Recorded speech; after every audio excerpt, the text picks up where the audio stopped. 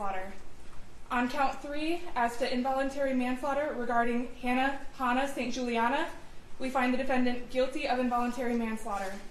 And in count four of involuntary manslaughter against Justin Shilling, we find the defendant guilty of involuntary manslaughter. Thank you for allowing me to see